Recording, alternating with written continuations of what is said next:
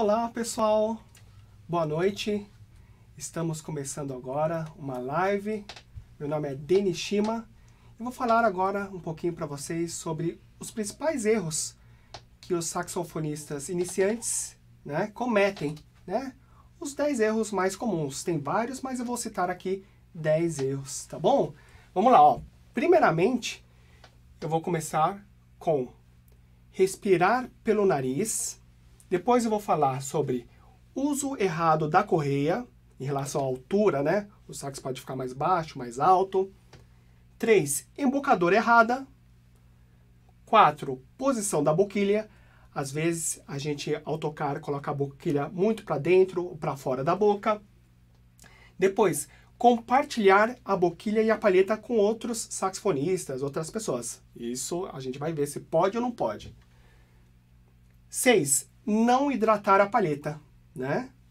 7. Fazer bochechas. Travar o fluxo de ar, né? Travar o fluxo de ar. Montar errado a boquilha e finalmente a posição errada, né, de tocar, dor nas costas, né, tendinite. Então vamos lá, vamos começar aqui como a parte número 1 um aqui, respirar pelo nariz. É engraçado que às vezes acontece também, né? O aluno iniciante não sabe, começa a aprender sax sozinho e respira pelo nariz, né? Mas, assim como em todos os sopros, né? Os instrumentos de sopro, a gente respira, na verdade, pela boca, né? Então, imagina, tô com o sax aqui, eu vou respirar pela boca. Eu mantenho aqui minha posição de embocadura, os dentes na boquilha, né, o lábio inferior na palheta, mas eu respiro pelas laterais. Não tenho a necessidade de soltar a embocadura, né, ó.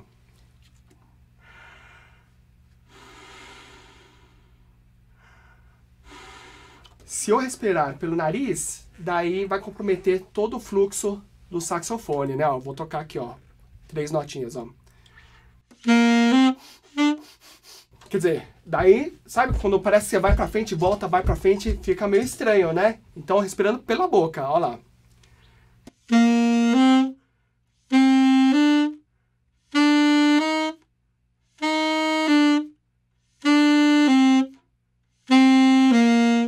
Ok?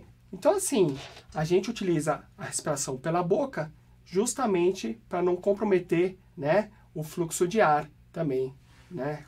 Acaba dando um nó na cabeça se você respirar pelo nariz, tá ok? Vamos lá. 2. O uso errado da correia. Porque é o seguinte, a gente tem a correia do saxofone. Se a gente deixar a correia nessa altura, o que vai acontecer? Eu vou ter que fazer uma posição errada, né? Ó, eu tô corcundo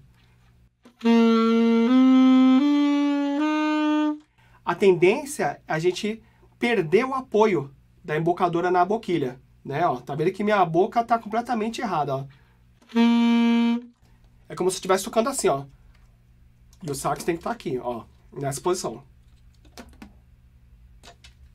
Então eu vou ter que ajustar a correia de uma maneira que o saxofone fique com o ângulo correto, né? Então vamos lá. Ó, ainda tá lá embaixo, tá vendo, ó? Se eu ficar reto aqui, ó, tá vendo que a boquilha tá batendo aqui embaixo do meu lábio, quase no queixo, tá? Ó, perfeito? Se eu deixar assim, ó, o que, que eu vou fazer? A tendência é eu abaixar, ó. Minha cabeça para frente. Tá completamente errado, porque o fluxo de ar não vai ficar correto, né? Então vamos levantar mais um pouquinho. Ó, tô reparando que tá quase, né? Tá bem aqui nos lábios. Mais um pouquinho. Agora sim, ó. Tá vendo? Sem fazer força, eu reparo que a boquilha está no ângulo certo, ó. Nem muito para cima e nem muito para baixo, ó. Tá, ó.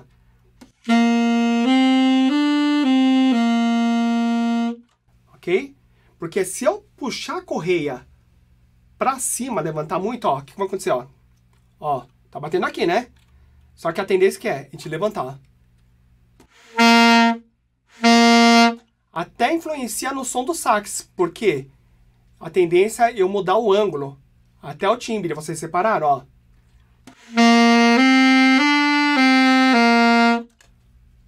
Agora, vamos lá.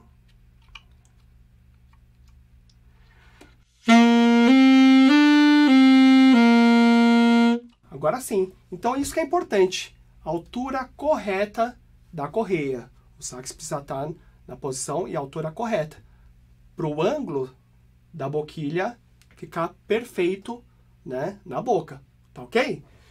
Vamos lá. 3. Embocadura errada. Né? A questão da embocadura, eu acho que é fundamental. Eu falo que a embocadura é a parte principal né, do saxofone. Você não precisa ter o sax number one, número um. Não precisa ter o sax né, mais caro, certo? Mas se você não tiver a embocadura correta, perdeu. O som vai ficar feio, né? E eu acho que o, o som do saxofone, a sonoridade é o principal, né? Então, você pode ter um sax perfeito, né, maravilhoso, mas se você não trabalhar a embocadura, não vai adiantar nada, né? E o que, que é embocadura, né? É todo esse controle, toda essa musculatura ao redor da boca, é o fluxo de ar que você tem que manter constante, né? Porque olha só, de vez eu ficar falando aqui muito tempo, eu vou tocar para vocês observarem, né? Se eu tiver com a embocadura correta, com a mesma pressão, né, controlado, o som tem que ser assim, ó. Ó, você viu que a, a, a correia levantou, né?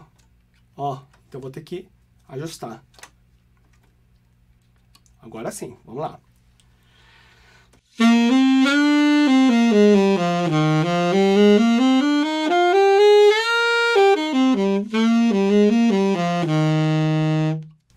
Então toca a embocadura legal, correta. Agora, se eu tensionar demais, olha só como que o som vai mudar. Vocês que vão me falar, ó.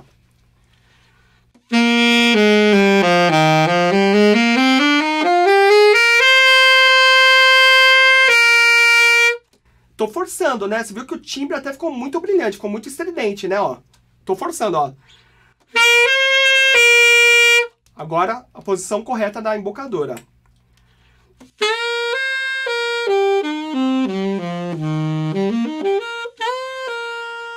Ao invés de... Daí eu tô perdendo o controle da embocadura. Por isso que é muito importante praticar esse início da embocadura para você controlar. Se você apertar demais né, a musculatura, o som vai sair duro, né, muito brilhante, horrível. E se você relaxar demais, acontece isso, ó.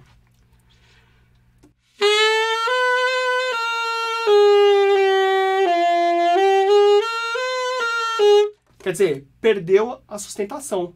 Eu relaxei demais a bocadora, né? Então tem o meio termo. Tem o ponto, né? Equilíbrio correto, se eu tensionar demais, o som vai ficar brilhante, duro. Se eu relaxar demais, também vai ficar sem apoio. Ó, vou... Imagina que aqui tem minha mão. Aqui é o ponto da embocadura correto. Se eu tensionar demais a musculatura da boca, vai ficar feio o som, vai ficar estridente. E se eu soltar a embocadura, relaxar demais, vai cair a afinação. Presta atenção aqui, ó.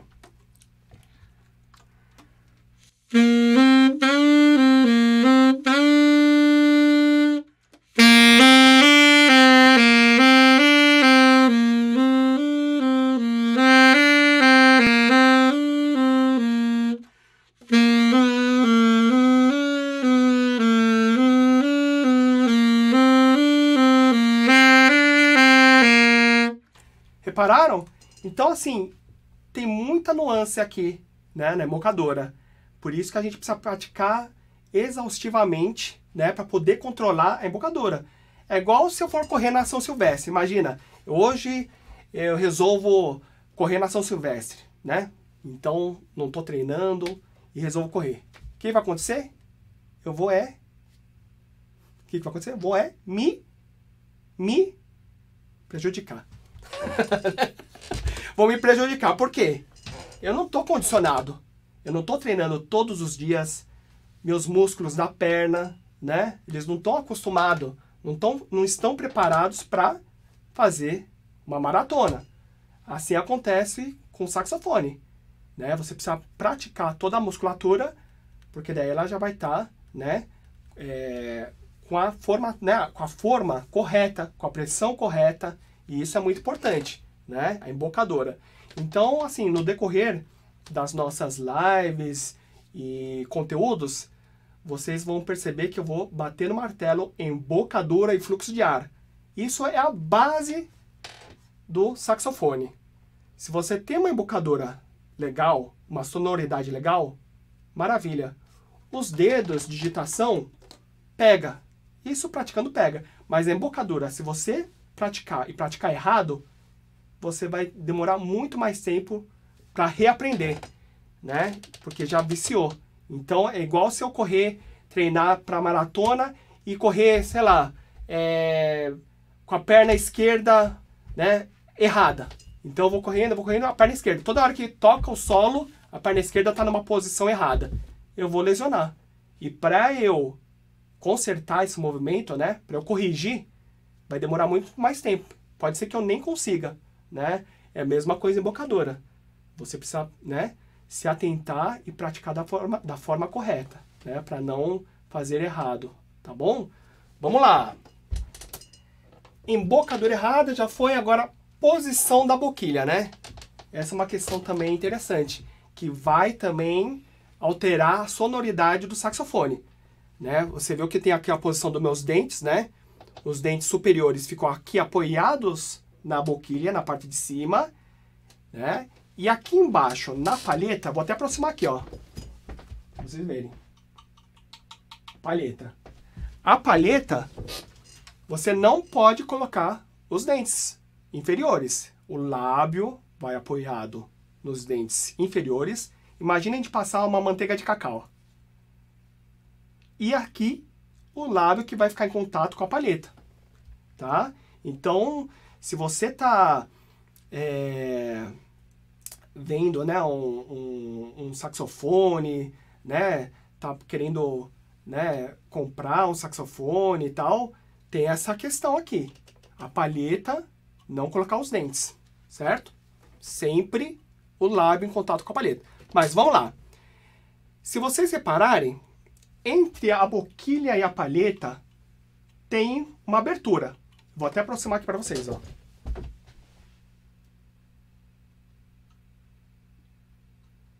Certo? Tem uma abertura. Então, o que, que acontece? Dessa maneira, o que, que vai acontecer? A gente vai ter que achar o ponto de encontro da boquilha, ponto de encontro da boquilha, certo? E nesse ponto de encontro, a gente vai imaginar uma linha imaginária. Então a palheta começa, né, aberta, a palheta em relação à boquilha começa aberta. Imagina que tá aqui, ó. Aqui é a boquilha. Aqui é a boquilha, aqui é a palheta. Então ela tem um vão. E tem uma hora que ela junta, encosta na boquilha a palheta. Esse ponto aqui, você vai imaginar uma linha imaginária na boquilha e na palheta. É o lugar, né, aproximado que você vai colocar os dentes superiores e o lábio inferior, tá certo? Só que acontece, às vezes a gente passa do ponto. Ou a gente coloca a boquilha muito para dentro ou muito para fora. Ou seja, a gente está longe desse ponto de contato. E isso vai interferir na sonoridade, tá? Então, para mim, eu já estou acostumado, né, de tanto praticar, né, a boquilha e a palheta, porque cada boquilha e cada palheta vai ter seu ponto diferente. Se eu tiver uma boquilha e palheta com abertura diferente, vai ter um ponto diferente do que essa. Tá certo? Então tem que achar. No meu caso aqui, ó.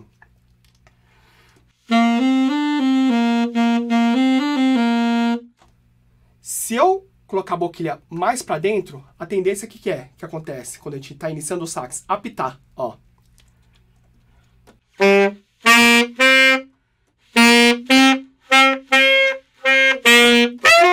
Você viu? Que dá, a gente chama de, né, guinchada porque passou do ponto. A gente colocou a boquilha muito para dentro. E se a gente estiver aqui no ponto certo e colocar a boquilha para fora do ponto, a tendência é perder sonoridade, ó. Vai travar aqui, ó, vai fechar a palheta, ó.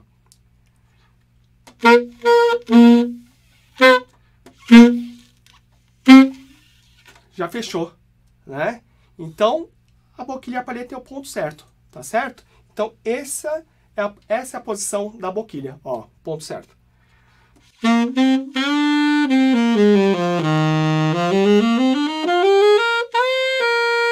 fazer a mesma coisa agora com a boquilha para dentro.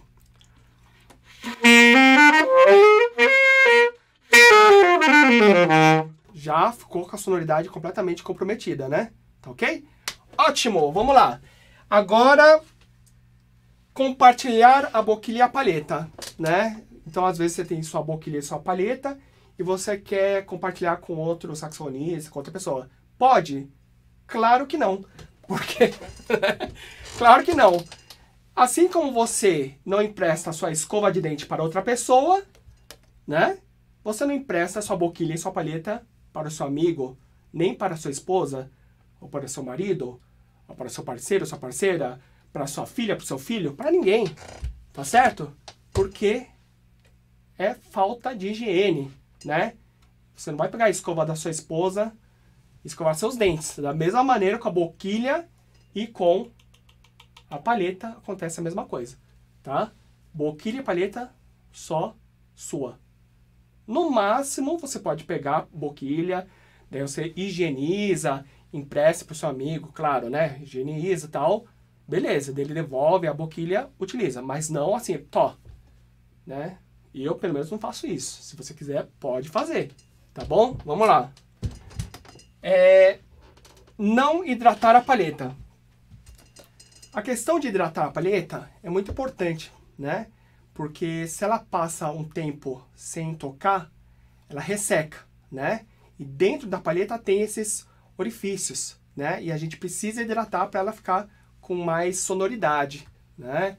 Então é muito importante é, hidratar a palheta, né? Dependendo, cada saxofonista tem a, a sua metodologia, né? Seu jeito de hidratar, eu geralmente deixo de 3 a 5 minutos, né? Coloco só essa parte aqui da palheta, a parte mais fina, né? A parte mais grossa côncava não, porque automaticamente, né, o bambu suga, né, a água para essa extremidade, tá bom? Então, mas cada um tem a sua maneira. Eu hidrato de 3 a 5 minutos, tá bom? Vamos lá. 7. Fazer bochechas, né? Então, a questão da bochecha. Se você está fazendo bochecha, assim, ó.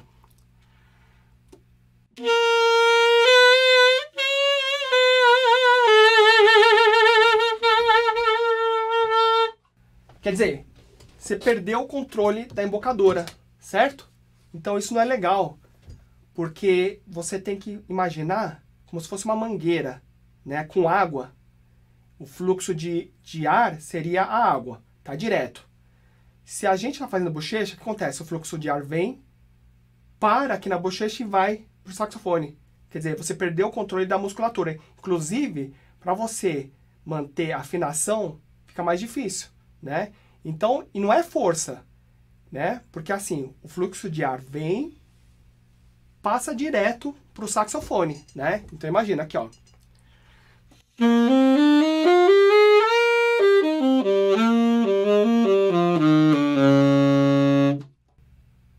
Tá direto, não estou fazendo nenhuma força aqui. Se estiver fazendo força, tá errado.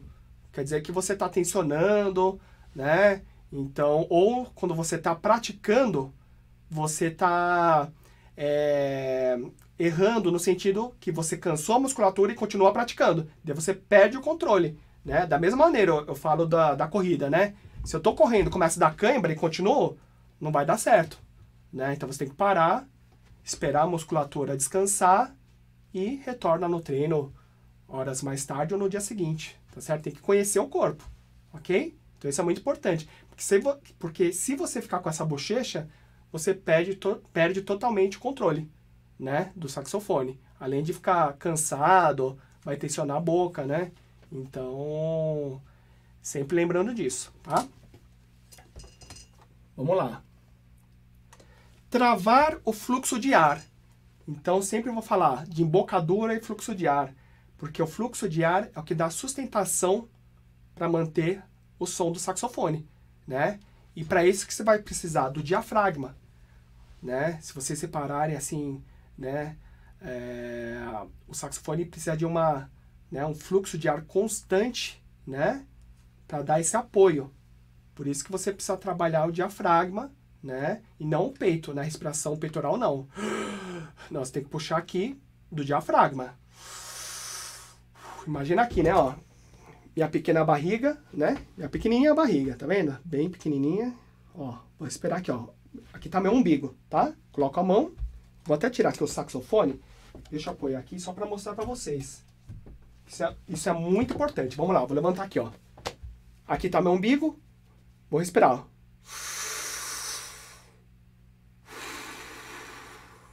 Soltei de novo.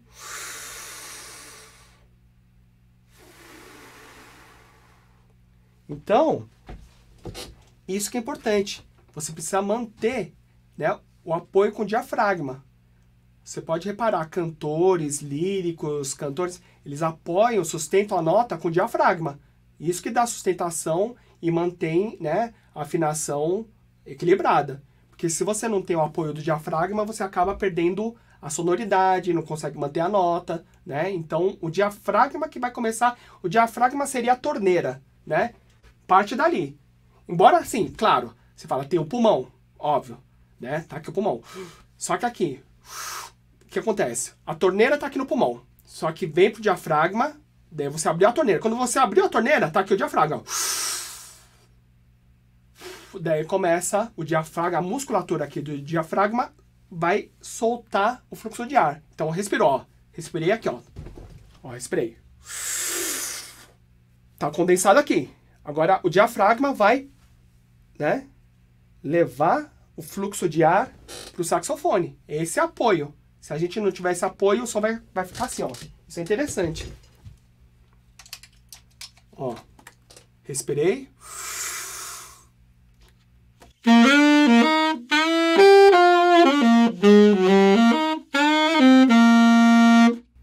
Agora, sem respirar e sem manter o diafragma. Olha como o som até cai, ó.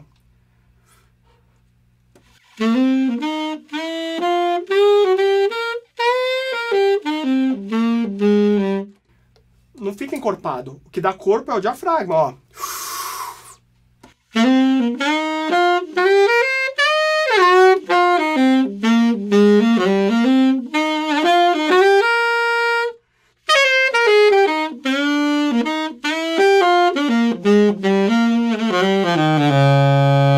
Principalmente nos graves, né?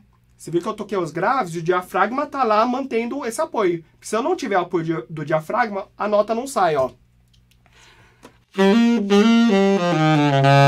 Você viu que deu uma falhadinha, porque tava sem apoio. Ó, se eu apoiar agora, ó.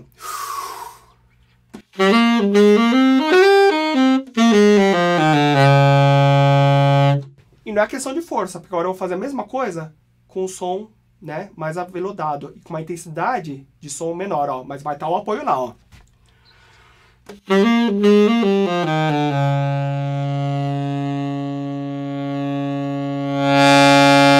Quer dizer, eu aumentei o volume, mas o apoio do diafragma tá lá, né? Você viu que independe da intensidade de volume. Se eu não tiver intensidade, nem no volume mais alto e nem no baixo, você consegue emitir a nota. Tá? Então isso é importante. É, vamos lá. Falei sobre travar o fluxo de ar, agora montar errado a boquilha, né? Porque qual a questão? Tem duas coisas na montagem da boquilha. Se eu pegar né, a boquilha e montar a palheta fora do ponto certo, não vai soar. Por quê? Você viu que tem aqui, ó, a boquilha, quando você aperta, quando você aperta, você tem que ver a pontinha da boquilha, é como se fosse um fio de cabelo, certo? Um fio de cabelo. Se a palheta ficar muito para baixo, não vai sair som. E se ela passar da boquilha, também não. Então é importante que você deixe bem assim, nessa área aqui, ó. Vou até travar aqui para vocês verem. Ó. Deixa eu pegar aqui o ângulo. É um fio de cabelo. Certo? Ó, um fiozinho de cabelo preto da boquilha. Esse é o ponto certo, tá? Além da montagem da boquilha, que tem que estar tá dessa maneira, tem a posição aqui da boquilha, certo? Se você empurrar aqui a boquilha para dentro do tudel, a afinação vai subir, vai ficar fora do, fora do ponto certo, né? Ó.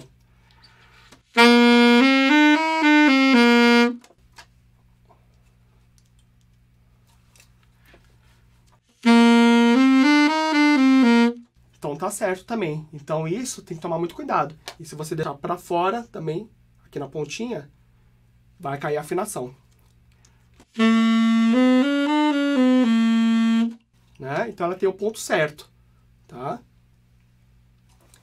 Vamos lá. Posição errada, né? Pra gente tocar o saxofone. A gente tem que tomar cuidado também em relação ao posicionamento do tudel com o saxofone. Por quê?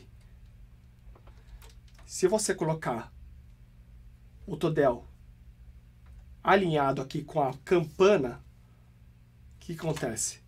A tendência é você tocar aqui e a sua mão aqui virar. Ó, ela vai ficar virada, tá vendo? Ó. Uma hora vai te dar tendinite, certo? A ideia é você manter aqui reto, não assim. Manter aqui reto, que isso é movimento natural. Tudo que você forçar, tá errado. Então, se você manter o tudel alinhado dessa maneira, tá errado. Porque você vai estar tá forçando aqui, ó, para encaixar. E o tem que ficar aqui, ó. Então, acontece, né? Você tem que, né, ó, fazer o seguinte. Deixar o sax aqui. Se você tocar assim, ó, vai estar tá errado. Então, quer dizer que o tudel tá errado. Você vai ter que fazer o seguinte, ó. Essa é a posição, tá vendo? Ó, tá de vez assim, aqui. Tá? Vou travar aqui o tudel. E agora assim, ó. Ó. Tem que ser esse posicionamento natural. Se eu fizer assim, já tá errado, ó. Né? Então, tá aqui, ó.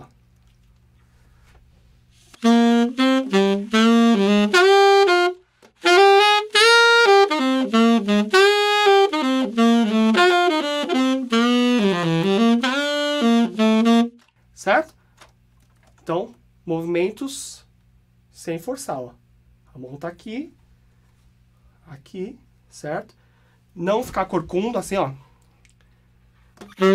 Vai, vai prejudicar também né, a sonoridade, tá?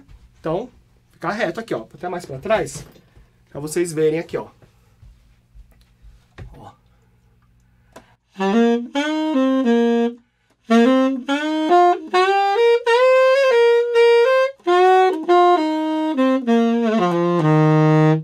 Se eu ficar muito curvada, Ó, tá vendo? Prejudica no apoio do grave, porque você vai estar tá com o posicionamento errado do fluxo de ar, né? E nem ficar muito assim também, né?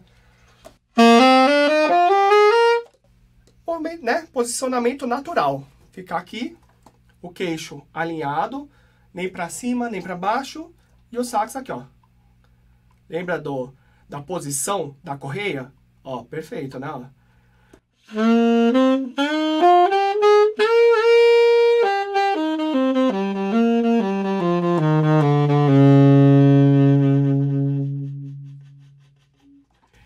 Então tem todas essas questões que assim, quem não conhece acaba prejudicando, né? Então só para a gente visualizar aqui, respiração pelo nariz, né? Então já é uma coisa que a gente lembra que não pode acontecer. Respiração pela boca, certo? Uso errado da correia. Se a gente colocar o sax para cima ou para baixo, também vai influenciar na sonoridade. Isso não é legal, né? Embocadora errada, né? Se a gente está forçando demais ou relaxando demais, por isso que a gente precisa praticar muito a embocadora, né? Porque a, a embocadora é a musculatura, né? do saxofone, né? São os músculos trabalhando para ajudar o maratonista a segurar a onda lá, né? Manter o, a corrida, né? Então a embocadura ajuda você a manter a sonoridade do sax junto com o fluxo de ar. Isso é importante, né?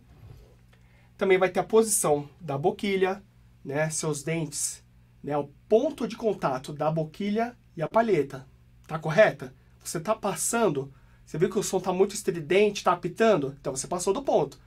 Às vezes, se você deixar a boquilha também muito para fora da boca, passou do ponto mais para fora. Então vai perder sonoridade, porque a palheta a tendência é fechar, né? Então não vai passar ar. E a ideia da palheta com a boquilha que é vibrar, né? Por isso que não é força, né?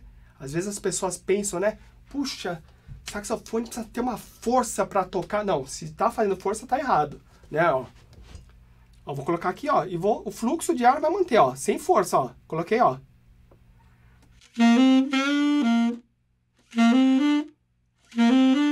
Sem forçar, coloquei, ó, respirei.